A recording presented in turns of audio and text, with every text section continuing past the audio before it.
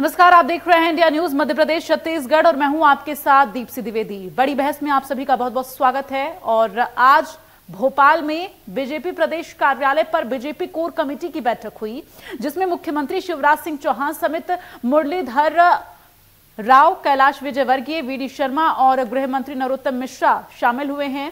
आपको बता दें कि पिछले कुछ दिनों से भाजपा प्रदेश मुख्यालय में बैठकों का दौर चल रहा है। आज भी प्रदेश के विभिन्न जिलों के भाजपा कोर ग्रुप्स को बुलाया गया था। ज़िले के मुख्य पदाधिकारी और कार्यकर्ता प्रदेश के शीर्ष नेतृत्व के साथ जिलों के राजनीतिक हालातों पर मंथन किया गया। मध्य प्रदेश विधानसभा चुनाव 2023 की जीत को लेकर बीजेपी और कांग्रेस दोनों ही दलों में आपको बता दें, मैदानी तैयारियाँ जो है वो शुरू कर दी है दोनों दलों ने। माना जा रहा है कि बीजेपी की लगातार चल रही बैठकों में वर्ष 2023 विधानसभा चुनाव की रणनीति पर चर्चा की गई है। वहीं बैठक के दौरान पत्रकारों से चर्चा करते हुए बीजेपी प्रदेश अध्यक्ष वीडी शर्मा ने कहा है कि पीएम मोदी के आठ साल पूरे होने पर तीस मई से पंद्रह जून तक बीजेपी विशेष अभियान चलाएगी। मंत्रियों से लेकर बड़े पदाधिकारी जिलों में केंद्र सरकार की योजनाओं को लेकर जनता के बीच जाएगी। और ऐसे में पार्टी अगले एक साल तक जमीनी स्तर पर ज़्यादा से ज़्यादा कार्यक्रम आयोजित करेगी। इसके लिए बीजेपी जिलों पर ज़ोर दे रही है। मंडल और बूथ स्तर पर कार्यक्रमों के ज़रिए भाजपा प्रदेश में अपने वोट प्रतिशत को 10 फ़ीसदी बढ़ाकर इक्यावन प्रतिशत करना चाहती है। तो 10 फ़ीसदी से बढ़ाकर इक्यावन फ़ीसदी करना चाहती है। वहीं बीजेपी की इन बैठकों पर कांग्रेस ने चुटकी लिया है। कांग्रेस जो है लगातार चुटकी लेती हुई नज़र आ रही है। मतलब साफ़ है, मिशन 2023 के लिए बीजेपी फुल फॉर्म में है। तो आज इसी मुद्दे पर हम बड़ी बहस करेंगे। हमारे साथ एक खास पैनल जुड़ेगा, लेकिन उससे पहले क्या कुछ राजनीतिक प्रतिक्रियाएँ आई हैं, वो आपको सबसे पहले सुनवाते हैं। तक केवल भाषणों में नहीं, केवल टारगेट नहीं, इसको पूरा करना ये हम नीचे तक हमारे बूथ विस्तारक अभियान के माध्यम से बूथ का सशक्तिकरण, सक्षम बूथ बनाने का हमारा जो टारगेट है, उसमें हमारी ये जो लीडरशिप है, इस काम को इम्प्लीमेंट करने वाली लीडरशिप है, चिंता करने वाली लीडरशिप है तो उनसे बातचीत समय समय पर होती है। तो इक्यावन परसेंट वोट से हम लगातार इस दिशा में हमारे कदम आगे बढ़ रहे हैं और मुझे पूर्ण विश्वास है कि हम इस दिशा में माननीय प्रधानमंत्री जी के नेतृत्व में माननीय राष्ट्रीय अध्यक्ष जी के नेतृत्व में और मध्य प्रदेश के अंदर, हमारे माननीय मुख्यमंत्री जी के नेतृत्व में भोपाल के भाजपा कार्यालय में जिला स्तर की ताबड़तोड़ बैठकें जारी है। बैठकें इसलिए की जा रही क्योंकि अभी दिल्ली में भाजपा की कोर कमेटी की बैठक हुई थी, जो फीडबैक नेतृत्व और आरएसएस के नेताओं के सामने आया। वही आया कि नौकरशाही भ्रष्ट हो चुकी है, नौकरशाही हावी है। सत्ता संगठन के बीच में कोई समन्वय नहीं है, कोई सुनवाई नहीं हो रही। कार्यकर्ताओं की बिकाऊ टिकाऊ का संघर्ष जारी है और पूरी तरह से भ्रष्ट नौकरशाही सरकार को चला रही है। तमाम जो शिकायतें दिल्ली पहुँची थी, दिल्ली दरबार में वहाँ से नसीहत मिली, वहाँ से फटकार मिली। अब बैठकों का दौर जारी हो चुका है, जिला स्तर पर समन्वय और कोऑर्डिनेशन की बात की जा रही, जिला स्तर पर रायशुमारी की जा रही, लोगों से बात की जा रही, जो लगातार शिकायतें नेत्रों तक पहुँच रही थी, जिस प्रकार की कार्यशैली, वर्तमान शिवराज सरकार की नज़र आ रही, जिस प्रकार से मंत्रियों का लोगों से दूरी नज़र आ रही जिस प्रकार से कार्यकर्ताओं को पूछा नहीं जा रहा है जिस प्रकार से जनता से दूरी सामने आ रही जिस प्रकार से भ्रष्टाचार के नए नए कीर्तिमान सामने आ रहे हैं इन सबको लेके ये बैठ के आयोजित हो रही ताकि फीडबैक लेके दिल्ली में दिया जा सके। शुरू होंगे बीजेपी कल तक बीजेपी जनता से जुड़ाव के और क्या क्या कार्यक्रम चलाएगी? इसलिए ये अभियान हमारा जो चलेगा उसको उसकी चर्चा करना और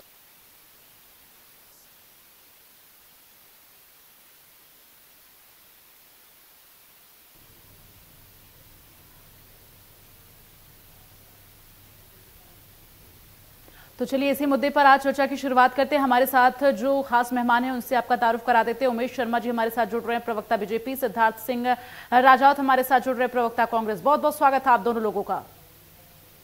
सबसे पहले उमेश शर्मा जी आपके पास आते हुए, ये किस तरह का मंथन जो है वो चल रहा है? चूँकि अभी आपने नरेंद्र सलूजा जी को सुना कि कई बातें वो कहते हुए, कई बड़ी बातें कहते हुए, कई आरोप लगाते हुए भी वो नज़र आ रहे हैं। तो किस तरह का ये मंथन चल रहा है? सबसे पहले आप ये क्लियर कर दीजिए।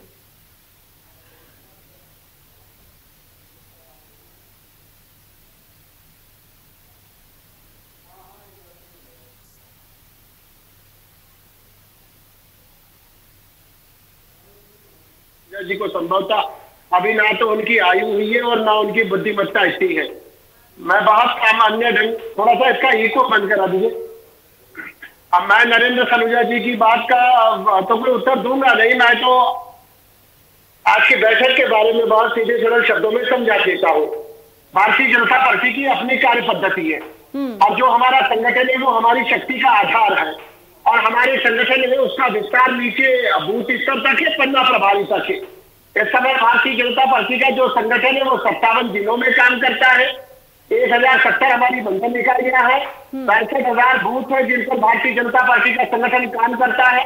और इन पैंसठ हज़ार बूथों के नीचे जाकर हमारे पेश प्रभारी और पन्ना प्रभारी काम करते हैं। अब आज की बैठक आज की ये जो बैठक थी हमारी भारतीय जनता पार्टी की संगठन रचना में प्रदेश की भी कोर कमेटी होती है राष्ट्रीय कोर कमेटी होती है जिला स्तर की भी कोर कमेटी होती है। और आज जो हमारी प्रदेश की कोर कमेटी थी और कोर कमेटी की टीम ने जिला स्तरीय कोर कमेटी की टीम से संवाद करा है।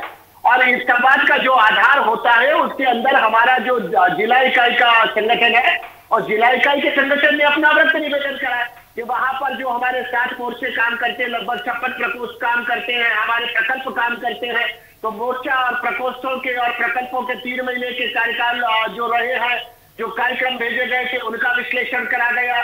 नीचे हमारी इकाइयाँ किस स्तर तक गठित हो गई है? मोर्चा प्रकोष्ठों की और प्रकल्पों की उसके बारे में विचार करा गया। भारतीय जनता पार्टी के जो कार्यक्रम अभी निरंतर प्रदेश इकाई के द्वारा भेजे गए थे उन कार्यक्रमों का नीचे तक क्रियान्वयन किस स्तर तक हुआ है उसके बारे में विचार करा गया।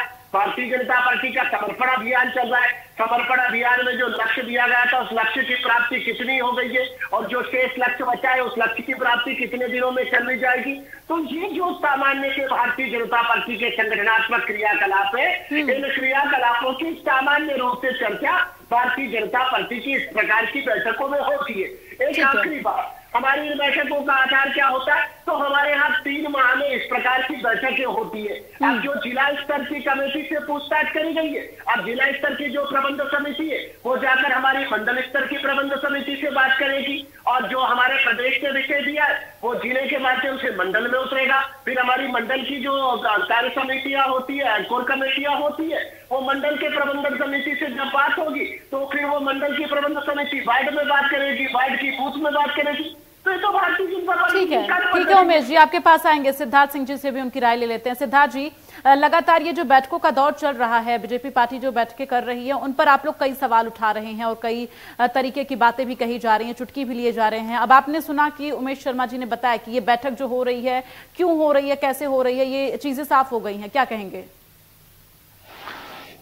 उमेश शर्मा जी को मैंने बड़ा धैर्यपूर्वक सुना हम्म। इनकी बातों से तीन चार चीज़ें निकल के आ रही एक तो जिस प्रकार से रावण को घमंड हो गया था कि मैं पूरे ब्रह्मांड को जीत लूँगा ब्रह्मा विष्णु महेश मेरे हाथ में रहेंगे हम्म। उसी प्रकार से आज भारतीय जनता पार्टी के कार्यकर्ता हो चाहे प्रवक्ता हो चाहे बड़े बड़े मंत्री हो या मुख्यमंत्री हो मध्य प्रदेश के अंदर तो आज घमंड में चूर है। हम्म। और रही बात दूसरे पहलू पे जाए तो आप इनको एप्लीकेशन लिखने की बोलोगे तो ये निबंध लिख के तो आपको बता देंगे कि अठारह वर्ष में हमने क्या क्या किया है स्वर्णिम मध्य प्रदेश बोलकर आए थे नहीं बना। फिर बोले विकसित मध्य प्रदेश नहीं बना। फिर आत्मनिर्भर मध्य प्रदेश नहीं बना। अब कारण क्या है? इसके पीछे पूरा का पूरा सिर्फ़ और सिर्फ़ इवेंट मैनेजमेंट के दम पे हमारे माननीय मुख्यमंत्री यशस्वी मुख्यमंत्री जो नारियल फोड़ने में माहिर है वो हर जगह पे हर जगह पे चलते रहे। अब इसी कारण को आगे चलते हुए आप देखें तो आज की डेट में भारतीय जनता पार्टी के अंदर पाँच प्रकार की भारतीय जनता पार्टी है एक नाराज़ भाजपा जो चंबल क्षेत्र में बैठी हुई है हम्म। एक महाराज भाजपा है एक शिवराज भाजपा एक बीडी शर्मा भाजपा और एक हमारे इंदौर के जो बैठे हुए हैं कैलाश विजयवर्गीय जी तो इन पाँच भाजपाओं का जो पूरा एक रोष है वो पूरा दिल्ली पहुँचा जिस जिस प्रकार से भी कैसे भी। और दूसरा एक और इस पे पहलू और आपको बता दूँ हम्म। कि आज की डेट में नारायण त्रिपाठी जी इनके एक विधायक थे उनने स्वयं मीटिंग में ऐसे एक दर्जन विधायकों ने ये आवाज़ उठाई कि हम जनता द्वारा चुने गए हैं और हमारी है ना कोई भी अफसर सुनता नहीं है। ना मुख्यमंत्री हमारा कोई काम करते तो हमारा ऐसी पार्टी में रहने का क्या फ़ायदा? और दूसरा इसके आप एक दूसरा पहलू देखें तो ग्वालियर चंबल क्षेत्र के अंदर नहीं पूरे मध्य प्रदेश के अंदर जहाँ जहाँ माधुरा और ज्योतिराज सिंधिया जी का जहाँ जहाँ पे भी वर्चस्व है वहाँ पे भारतीय जनता पार्टी के और संघ के कार्यकर्ताओं को घर बैठा दिया गया है। अगर आप महल में जाके धूप लगा रहे हैं तो, तो आप भारतीय जनता पार्टी मतलब सिंधिया भाजपा में है। अगर आप सिंधिया भाजपा में रहना है तो पहले महल जाना पड़ेगा। हाँ। तो उससे सब सारे के सारे विचलित होते हुए इनके भारतीय जनता पार्टी के कार्यकर्ता आज मैं फहरिस्त है मेरे पास नामों की और मैं विथ प्रूफ बता दूँगा कि किस प्रकार से कैसे कैसे वो आज दुखी होके बैठे जिन्होंने संघ की आपकी जो दरिया बिछाई है जो भी शाखा लगी उसमें ठीक है अब आपने इतनी सारी बातें कही है तो थोड़ा उमेश शर्मा जी से भी पूछ लेते हैं। उमेश शर्मा जी कितनी बीजेपी पार्टी है? देखिए कई पाँच बीजेपी पार्टियाँ उन्होंने बता दी हैं। सिद्धार्थ सिंह जी जनता पार्टी। भारतीय जनता पार्टी में तो चाहे माननीय नरेंद्र मोदी जी हो या अमित शाह जी हो हम्म। शिवराज चौहान जी हो या विष्णु दत्त शर्मा जी हो हम्म। मुरलीधर राव जी हो या कैलाश विजयवर्गीय जी हो हम्म। ज्योतिरादित्य सिंधिया जी हो या नरेंद्र सिंह जी तोमर या नरोत्तम जी हो भारतीय जनता पार्टी में ये सभी लोग एक कार्यकर्ता के नाते हैं और भारतीय जनता पार्टी के कार्यकर्ता के नाते भारतीय जनता पार्टी संगठन के विस्तार के लिए काम करते हैं और भारतीय जनता पार्टी की केंद्र की और राज्य की सरकार की लोक कल्याणकारी योजनाओं का क्रियान्वयन नीचे तक इस बात की प्रतिबद्धता के साथ चिंता करते एक बात हम्म। अब मैं दूसरा सिद्धार्थ जी की बात का सिलसिलेवार जवाब देता हूँ। है ना? भारतीय जनता पार्टी के घर की तरफ़ तो आप टकटकी बाँध कर देखना बंद करिए थोड़ा सा अपने गिरेबान में झांकिए। आपने क्या करा कि कांग्रेस पार्टी का घर घर चलो, अभियान प्रारंभ हुआ आज से दो महीने, सत्तावीस दिन पहले। कमलनाथ जी गए देवास में। देवास के मंच पर चली कुर्सियाँ। कमलनाथ जी को तीन कार्यकर्ताओं के घर मिलने जाना था। वो भी लौटते समय मिलने जाना था। झल्लाए और बौखलाए कमलनाथ जी ने घर घर चलो, अभियान को तो कुर्ते की जेब में डाला और उन तीन कार्यकर्ताओं से मिलना भी उचित नहीं समझा।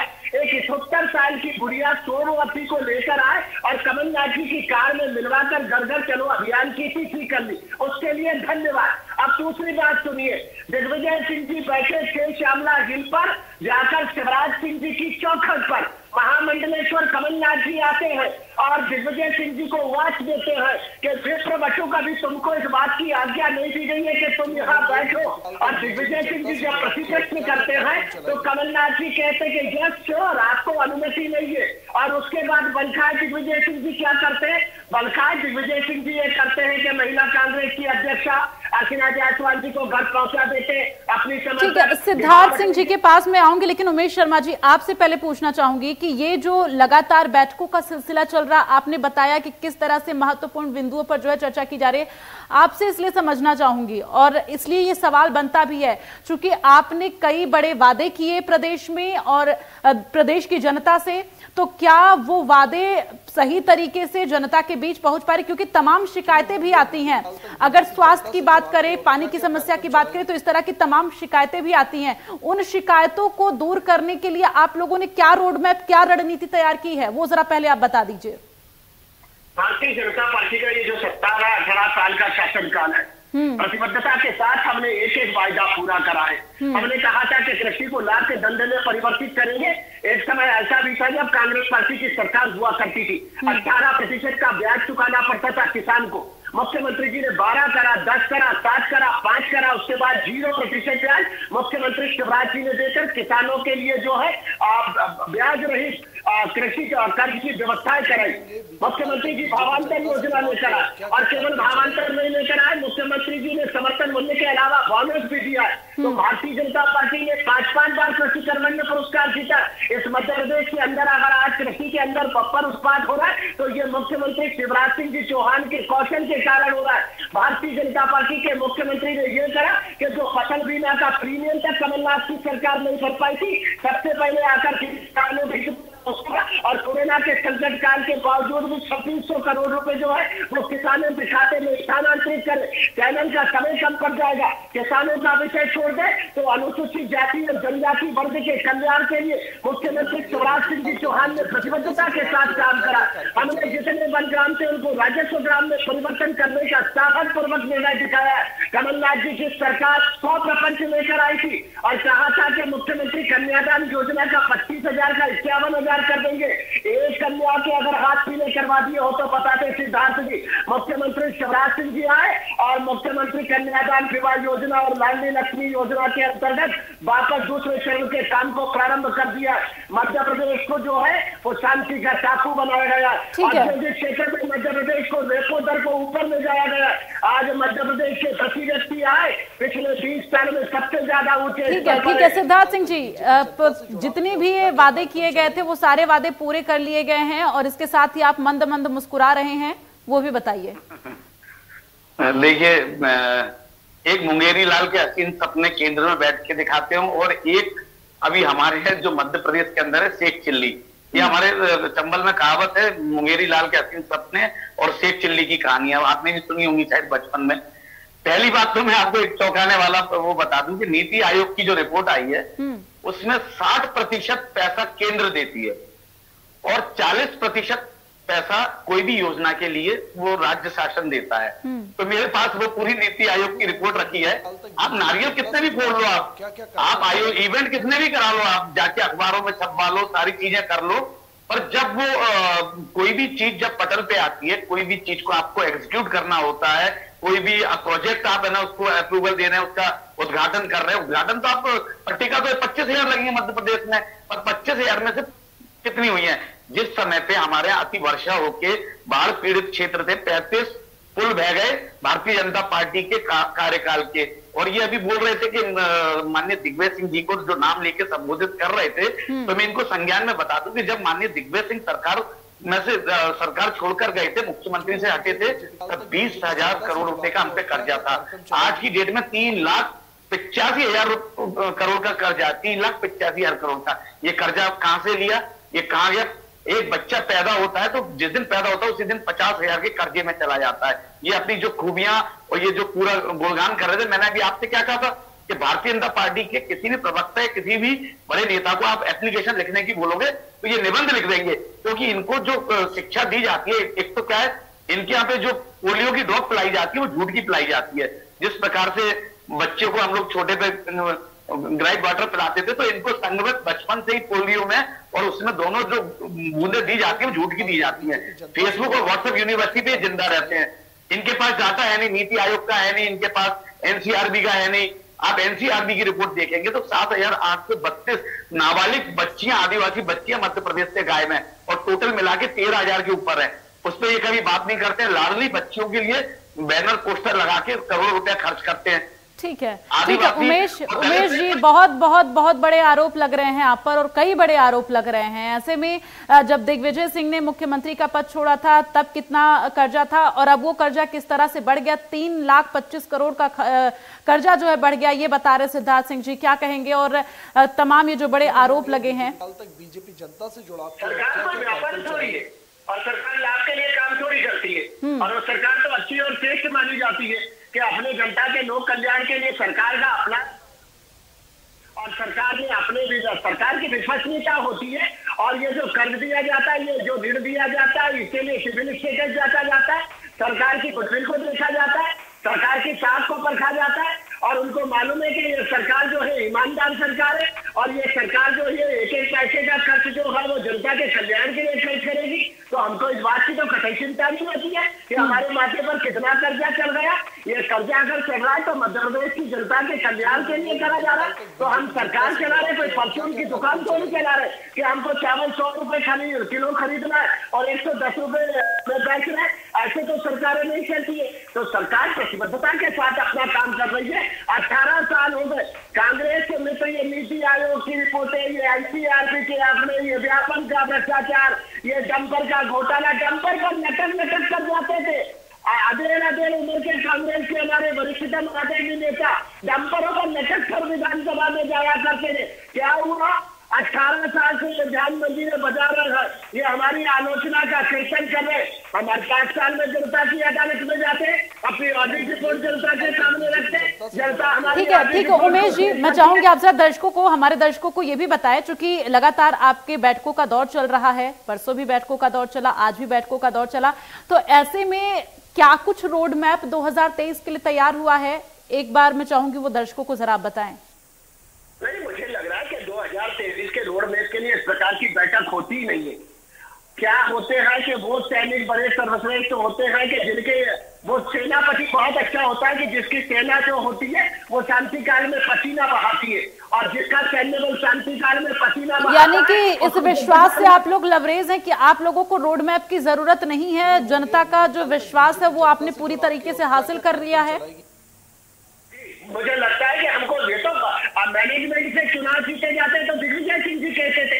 हमने तो कभी नहीं कहा कि मैनेजमेंट से चुनाव जीते जाते। हमको तो जनता का भरोसा हासिल करना है और जनता का भरोसा हासिल करने के लिए हम अपने क्रियाकलापों को, अपने कार्य को जनता के बीच लेकर जाते और हमारी जो भी बैठकें होती है, वो चाहे संगठन को शक्ति प्रदान करने की हो, उसका जो अंतिम गूंज होती है, वो यही होती है कि अधिकतम जनता की सेवा करना है। आज भी हमारे मुरलीधर राव जी ने कहा कि सेवा चाहिए सर्वोपरि। और हमारे ठीक है चलिए सिद्धार्थ सिंह जी देखिए उमेश जी कह रहे हैं कि वो जनता की सेवा कर रहे हैं इसलिए वो पूरे विश्वास से लबरेज नज़र आ रहे हैं कि उन्हें रोड मैप की ज़रूरत नहीं है वो चुनाव जीत जाएँगे 2023 में भी आप लोग किस तरह से जनता के बीच में जाने वाले हैं देखिए मैंने डिबेट स्टार्ट होने से पहले ही बोला था कि भारतीय जनता पार्टी बिल्कुल रावण की शैली में काम कर रही है जो घमंड है इनका सिर्फ़ हम्म। चढ़ के बोल रहा है वो वो इन्होंने साबित कर दिया हम्म। और उसी का परिणाम है कि आप देखिए किस प्रकार से बैतूल में इनके लोगों को भगाया गया।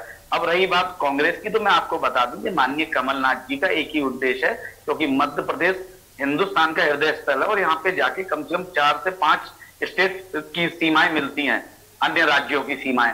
तो जो रोड मैप था हमारा, वो था युवाओं पे बेस्ड युवाओं के लिए ज़्यादा से ज़्यादा रोज़गार पैदा करना नई नई इकाइयाँ लगाना, उसी के रोड मैप पे पूरा काम चल रहा। है तीन सौ पैंसठ, दिन में तीन सौ पैंसठ हम लोगों ने जो हमारा मैनिफेस्टो में जो कर रहा था हमने एक एक तीन सौ पैंसठ मैनिफेस्टो के जो होते पूरे किए। और आप देखिए उमेश जी बात कर रहे थे बिजली के बिल की और अपना कृषि से रिलेटेड तो दो लाख पंद्रह हज़ार लोगों का कर्जा माफ़ किया माननीय कमलनाथ जी ने हम्म। जो आपने तुरंत आपकी सरकार बनते ही आपने उसको खारिज कर दिया और अन्य लोगों को नहीं दिया। और आपने क्या दिखाया उनको? क्या आप उनको क्या भेज रहे हैं? किसी के खाते में पाँच रुपए गए किसी के में ढाई रुपए गए किसी के में दस रुपए गए अच्छा आपने किसानों का मुद्दा उठाया है तो छत्तीसगढ़ में आपकी सरकार है ना वहाँ पर किसानों की नाराज़गी तो देखने को मिली थी दो दिन पहले ही वहाँ पर राकेश टिकैत को आने की ज़रूरत पड़ी उसके बाद से चीज़ें थोड़ी वहाँ पर संभलती हुई नज़र आई। मैं आपकी आवाज़ स्पष्ट नहीं आई, पुनः बोलिए। सिद्धार्थ जी, मैं ये कह रही हूँ कि छत्तीसगढ़ में आपकी ही सरकार है ना, वहाँ पर किसानों की नाराज़गी आप दूर क्यों नहीं कर पाए? आप यहाँ पर किसानों का मुद्दा उठा रहे हैं। छत्तीसगढ़ में दो दिन पहले जब किसान लगातार प्रदर्शन कर रहे थे और वहाँ पर राकेश टिकैत को पहुँचने की ज़रूरत पड़ी, ऐसे में किसानों की नाराज़गी आप वहाँ दूर क्यों नहीं कर पा रहे? उनकी मांगों को पूरा क्यों नहीं कर पा रहे हैं? नहीं देखिए आप अगर देखेंगे तो हिंदुस्तान के अंदर अभी नंबर वन का तबका मिला है हम्म। छत्तीसगढ़ को और हम्म।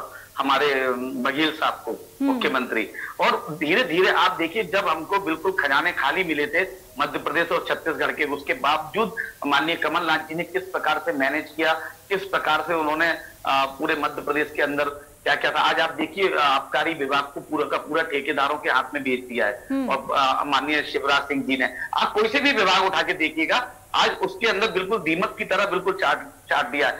अफसरशाही इस प्रकार से हावी है भ्रष्टाचार इस कदर हो चुका है कि आज जनता त्राही मांग कर रही है।